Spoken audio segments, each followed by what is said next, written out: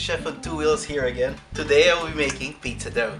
So this one's uh, our special request from Maan, uh, one of my college schoolmates. So today I'll be using uh, four ingredients. I'm using a double O farina. So this one's perfect for making pasta, pizza, or if you add it to a bread flour, you get a better leavened dough. I'll be using 1 kilo of double O flour, 2 teaspoon of salt, 1 8 teaspoon of instant dry yeast. Or if you get the fresh yeast, use uh, 1 gram and then 600 grams of cold water. So this one's a slow rise or slow proofing. Gives you more flavor. This one take you about minimum 12 hours to 24 hours to proof. So easy, you just add the water first. And then put in our salt. You want it salty water. Add uh, about about uh, let's say three fourths of this uh, flour. What we're just doing is building a like a barrier for the for the yeast to come in so it won't die from the salt. So I'm sure by now you know yeast doesn't like salt. Surely you can use all-purpose flour but you won't get a, a stretchy like a stretchy dough.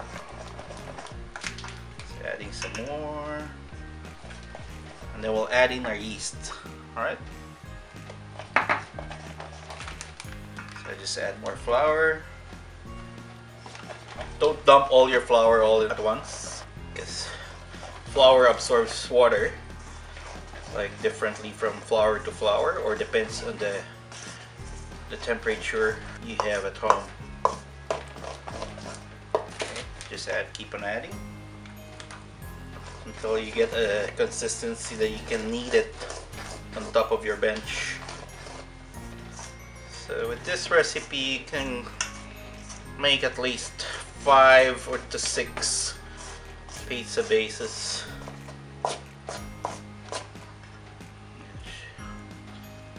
Time we'll use our hands already. So just keep on adding more flour. So clean hands, just keep mixing them. This recipe you can use also your uh, dough mixer. You'll be needing this for about 10, 10 to 15 minutes until you get a smooth, smooth dough.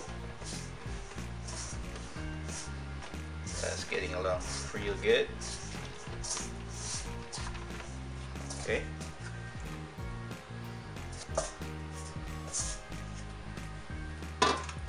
And start kneading. Okay. Just try to incorporate all of these.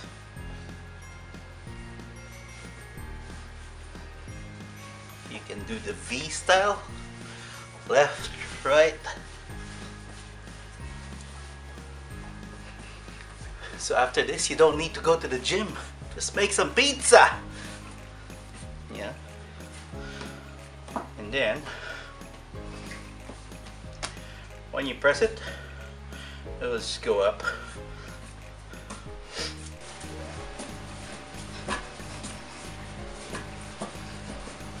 Okay.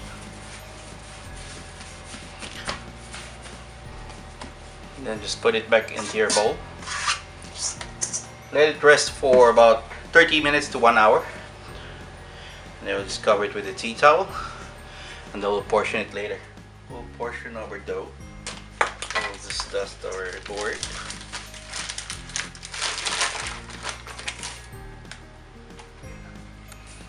Then we'll transfer our dough.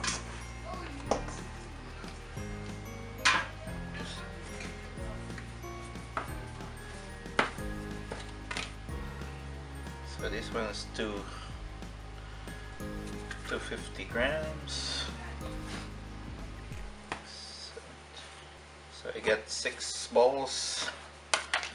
So this one's about 250 approximately each. And then we'll just ball them. There's easy way to ball them. Just fold it over. Then put it on the other side. Fold it over again. So do that about four times. Okay. Fold it till you get the smooth top. And then just pinch the the edges. Okay. And then just like roll it. Okay. And there you go. And then just crimp uh, the bottom. So that's one year bowl. Now we'll just slowly let it ferment for about 10 hours. 10 hours to 12 hours. Let it uh, it rise. Okay. So if you don't don't use all of these balls, you can make uh, bread. Really good bread with this one. Or make uh, focaccia.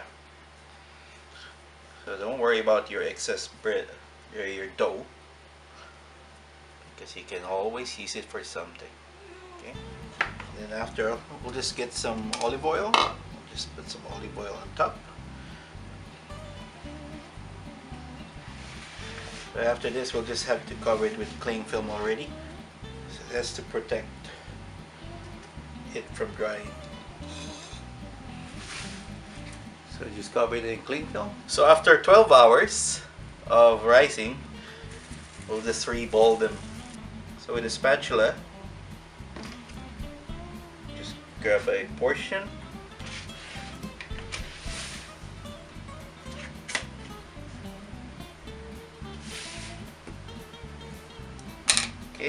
Just re-ball them. So we'll do the same. Fold. Fold.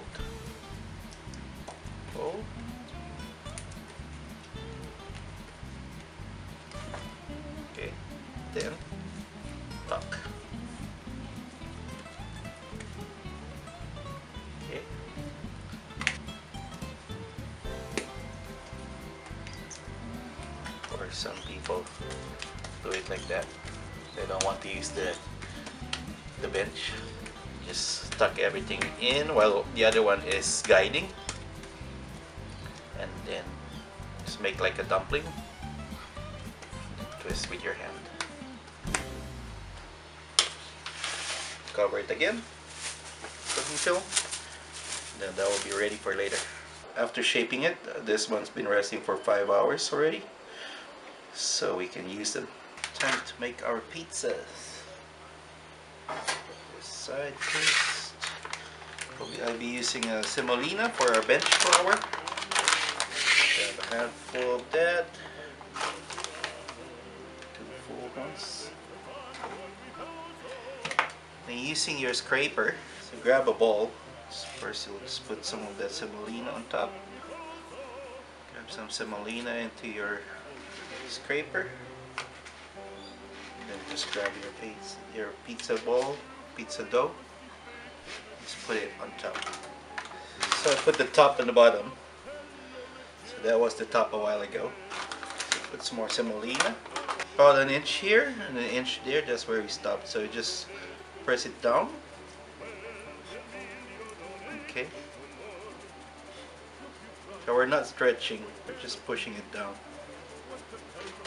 Flip it over. And do the same just push it down. So you're leaving this crust. So pretty much you're just pushing out all the air to the sides. Okay, flip it over again. So with this hand, this is to flatten, this one's to stretch, okay? And then this one, stretch until you get bigger.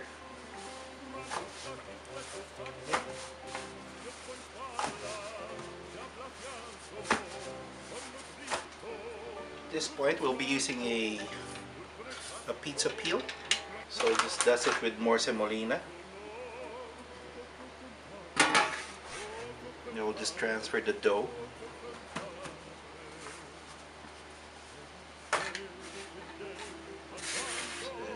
them aside we'll use some uh, tomato sauce just in the middle Spread it. So you don't need too much. Leave the edges so you get a good crust. Get some mozzarella, and some parmesan cheese on top. Just stretch this.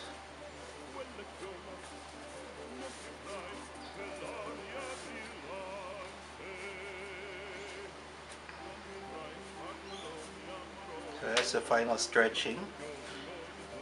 Make it bigger. So roughly this one is a, I think it's a 12 inches. Just add more. Some basil. And some olive oil on top, right? That's all we need.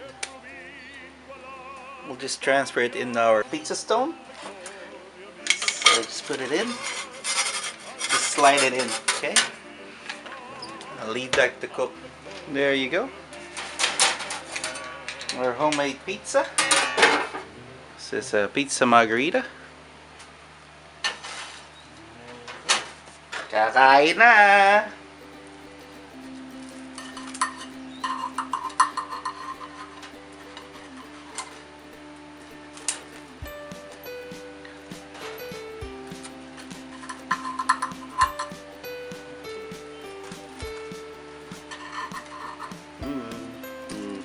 Show this. So that's our crust. Okay, it's cooked. It's cooked. There you have it.